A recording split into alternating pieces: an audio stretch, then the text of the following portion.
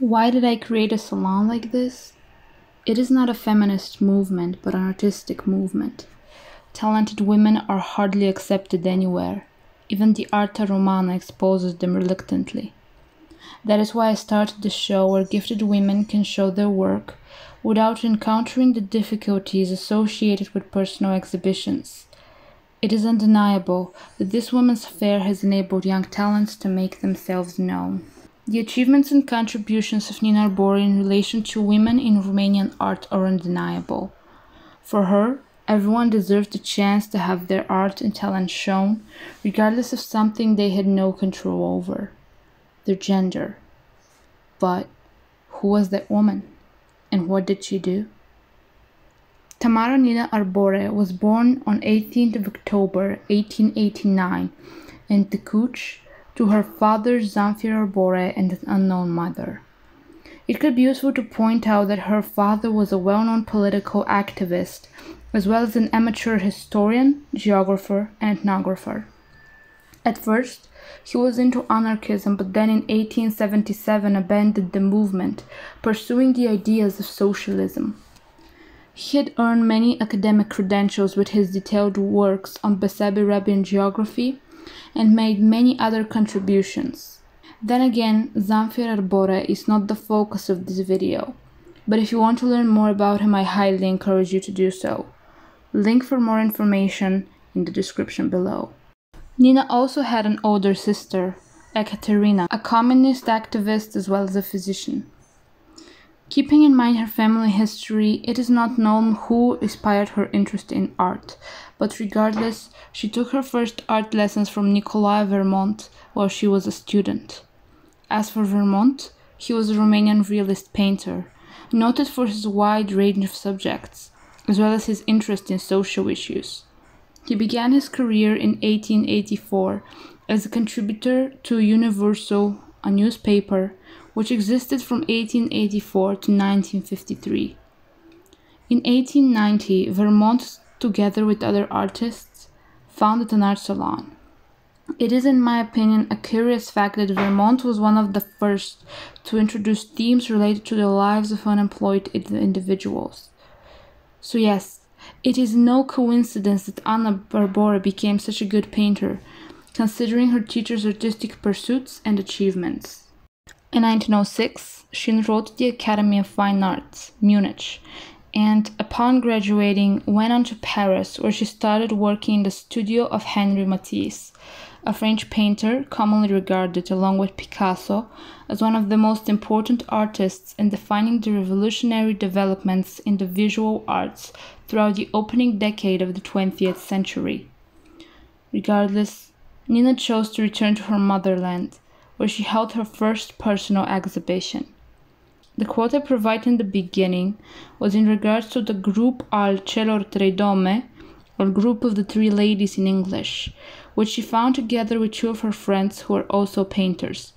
Cecilia Cutescu Storck, a pretty influential figure herself and strong advocate for feminism, and Olga Greceanu, a writer and painter representative figure of Romanian Neo-Byzantinism seems to have been largely forgotten both by the world and Romania itself. Then again, I may be wrong as I've never looked deep into her story or asked art historians about her. Either way, I promise in the future I'll make videos about both of these women, as they seem pretty interesting themselves. But even more inspiring to me is the continuation, so to speak, of the group's activities. In 1916, they became the founders of the Romanian Association of Female Sculptors and Painters, which was sponsored by the Romanian royal family at the time. Nina Arbore was a renowned painter of her time, her work being acclaimed by art critics, as well as her appearing in several magazines. She also taught art at the Academy of Decorative Arts. Following her sister's execution in 1937, however, Arbore seemed to disappear from the public eye, dying not long after, on 7th of March 1942. I believe it's safe to say that her work was truly influential and empowering in many ways. It makes me pretty sad, however, to say that I didn't find much information about her life, other than the one I have provided here. Honestly, her faith is rather complicated, as well as the reason for her being mostly forgotten. The death of her sister is also strange. As I said, Ecaterina Arbore was executed, in fact, condemned to death by Stalin himself. Considering she was a communism activist, one may, and rightfully so, ask themselves why. And from what I discovered, it was caused by her being an acquaintance and travel companion of Anna Pauker, a communist leader. It is interesting to note that Marcel Pauker, Anna Pauker's husband, followed the same faith as Ecaterina execution. Now, I read about Anna Pauker on Wikipedia, and an analysis of her said that she opposed some of Stalin's orders. I quote no other communist leader has been shown to have resisted the Soviet imposed line during the Cominform period of high Stalinism. Another possible explanation to Ecaterina's execution, as well as the forgetting of her sister's work, could be the differences in the views of the family regarding communism. Zamfir Arbore, as I mentioned, was linked to the anarchists, which wasn't exactly the socialism Stalin envisioned.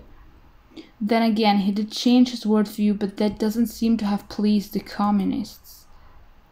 And here, I'm gonna make a little comparison to Bulgaria. Because if a child's parent was associated with anti socialism movements, this child was almost certain to have a much harder life than somebody whose parents were linked to pro socialist thought. In summary, your past was really important. By the way, it is common for socialists to desire the artists of the past who didn't exactly correspond to their vision to be forgotten. That applies not only for painters but also writers, musicians, and people associated with art in general. The reason we even know of Nina Arbore was because of Ioana Vlasiu, a senior researcher at the Art History Institute in Bucharest. I can't give you the exact day she learned about this artist, but I believe it was rather recent. I really hope you enjoyed this video as well as Nina Arbore's paintings. I think that she was an incredibly important and inspiring figure of Romanian art, and one that definitely needs to be remembered. Like and subscribe if you liked that video, as it is greatly appreciated. Thank you.